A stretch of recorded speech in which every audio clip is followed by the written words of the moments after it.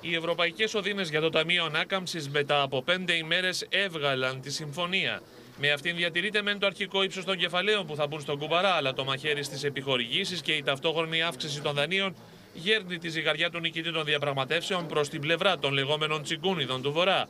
Ο Πρωθυπουργός εξέφρασε την ικανοποίησή του για το αποτέλεσμα των σκληρών διαπραγματεύσεων, με την οποία αυξάνεται οριακά το συνολικό μερίδιο που θα λάβει η Αθήνα.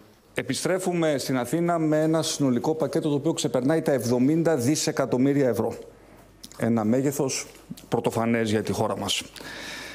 Και καταφέραμε τελικά μέσα από μια διαδικασία ε, αμοιβαίων ε, ε, υποχωρήσεων, συμβιβασμών, ε, πράγματα τα οποία είναι συνηθισμένα σε ευρωπαϊκό επίπεδο. Καταφέραμε να προστατεύσουμε πάνω απ' όλα τα προγράμματα τα οποία έχουν σημαντικές εθνικές κατανομές. Στα κέρδη που καταγράφει η ελληνική αποστολή συγκαταλέγονται εκτός από τα κεφάλαια του Ταμείου Ανάκαμψης παρά την αύξηση του ποσοστού των δανείων, η αύξηση των πόρων για το Ταμείο Συνοχής αλλά και η διατήρηση των πόρων της κοινής αγροτικής πολιτικής.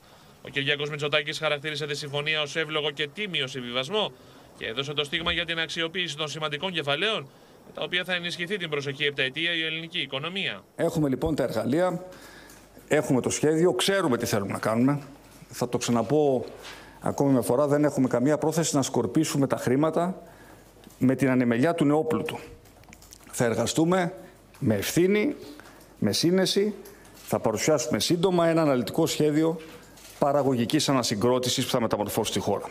Η συμφωνία των 27 λύνει τα χέρια του οικονομικού επιτελείου, καθώς η ένεση ρευστότητα των 70 δισεκατομμυρίων προς την ελληνική οικονομία θα συνδέεται με δημοσιονομικούς όρους. Η Ελλάδα είναι ιδιαίτερα ωφελημένη.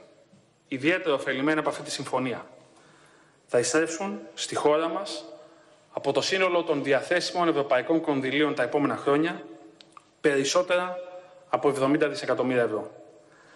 Απαιτείται από εμάς σχέδιο, υπευθυνότητα, σοβαρότητα, διορατικότητα, σκληρή δουλειά. Στο καλογερμανικό άξονα, η άρση του πενθήμερου αδιεξόδου έγινε δεκτή με συγκρατημένη ικανοποίηση, με δεδομένε τι σημαντικέ παραχωρήσει που έγιναν για να καμφθούν οι αντιστάσει του μπλοκ των φιδωλών χωρών. Ein Kompromiss, der natürlich auch durchaus äh, Schmerzen bereitet. Äh, Deutschland hat sich entschieden, an diesem Kompromiss nicht voll teilzunehmen, damit wir das ganze Budget nicht sprengen. Das ist unser Beitrag dazu als größte Volkswirtschaft, aber alles in allem sehr verantwortlich. Non seulement était l'un des sommets les plus longs de l'histoire, peut-être le plus long, euh, ce qui est un succès d'autant plus important après plusieurs mois où nous ne nous sommes pas réunis euh, physiquement, mais surtout euh, et avant toute chose un sommet dont les conclusions sont véritablement historiques.